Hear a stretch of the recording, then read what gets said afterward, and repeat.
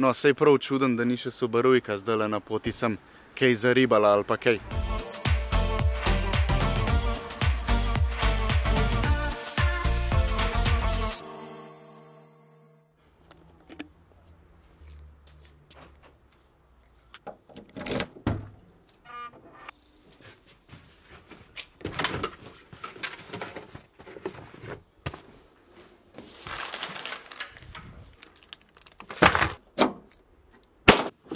Dober dan. No, najprej do kolega Jana, ki ima danes rojsten dan, pa mu je treba voščati, a ne? Da boš zdrav, pa da ti bo šlo dobro. Mejte se lepo. Ajde, čau. No, to smo zrihtali, zdaj pa do mame, ki nam je naredila filane paprike, pa še polukata. Paprike. A smo, smo. Ja, ne, zdaj gremo pa malo na morčka spet, zdaj to je ratala kar malo stalnica. Zadnje tri vikende skozi na morju, ampak je treba izkoristiti, ka pol v neki časa ne bo k nam na krk. Pa še fajn se je malo odmakniti od tega vremena, ki ga imamo tlele pri nas. Sicer danes je lepo, prejšnje dni je bilo pa katastrofa. Tako da se vidimo čez dve ure pa pol, ko bomo prišli na krk.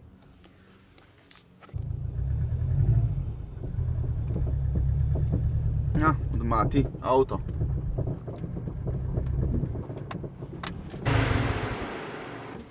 Evo nas. Pa smo.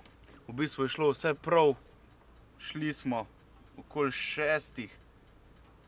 Malo čez šest, zdaj je pa ura deset do osmih, tako da lih dve urce pa pol malo manj na meji. Kaj tazga se mi pa še ni zgolj. Ni bilo pa niti malo gužve, tako da smo se v bistvu pripeljali na mitinco.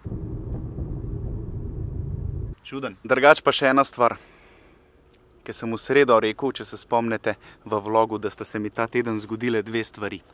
No, ena je bila slaba, to je to, kar mi je GoPro crknil, druga je bila pa dobra, da sem dobil mikrofon in da sem zelo zadovoljen.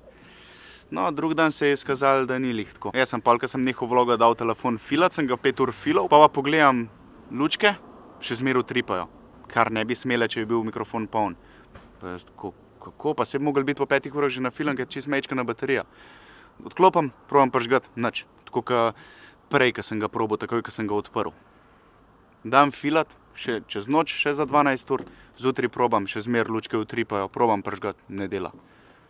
Tako da sem pol nazaj v trgovino pisal in ga bom poslal nazaj, ker mikrofon ne dela. Sem pa naslednji dan pol probo še dati noter AA baterije, ki isto lahko daš za silo, če ti zmanjka baterije na uni. Je pa mikrofon delal, tako da so pa prišla do zaključka, da je baterija za nič. Nimajo baterije tako posebej, tako da sem jim ga zdaj nazaj poslal in je rekel, da bo trajalo od 10 do 30 dni, tako da bo še 30 dni, recimo, mal tak zvok, pol bo pa bolj. Zelo slab teden je bil tale teden za snemalno opremo. No, sej prav čuden, da ni še Subarujka zdaj na poti sem kaj zaribala ali pa kaj. Lih zaradi tega, ker je bolj tak slab teden. Pa danes je še petek 13. O, ma petek 13. Se je ta petek 13 zavlekel kar na cel teden, tako da je bil cel teden v znamenju petka 13. Pa kamne pod gume. Dobro si to naredil, da ja ne boš lakem. Dobar, dobar. Smo šli pa na poti še benzin dotankat na toč, tako da bomo ga imeli za jutr za načovan. Pa še tole lojtrco imamo novo, za načovan, da mu lažje gor hodili. Je pomagala nost? Veš, sem na dopustu. A ja, sem na dopustu. Sem ful zmatrana. Sam boš vse malo, ne? Pa nas češ ali pa do nas. Lepa bo. O, nekaj novega že vidim, tele rumene lučke. Prej so rihtali poletje. Vse je spedenan, ker smo pa mi je pa kar smetnjak. Pa prt, lej, to je to. Kje? Na morju ta teden. Super. Kaj zbila sama? Super. Lega zlomka, že noč je. Zdaj le gremo pa sam še gor, kele do kolegov. Neki spit pa pa spat, tako da se vidimo jutr, lepo se mejte. Čau. Lej, jutri čovno vodo pa pa dopust.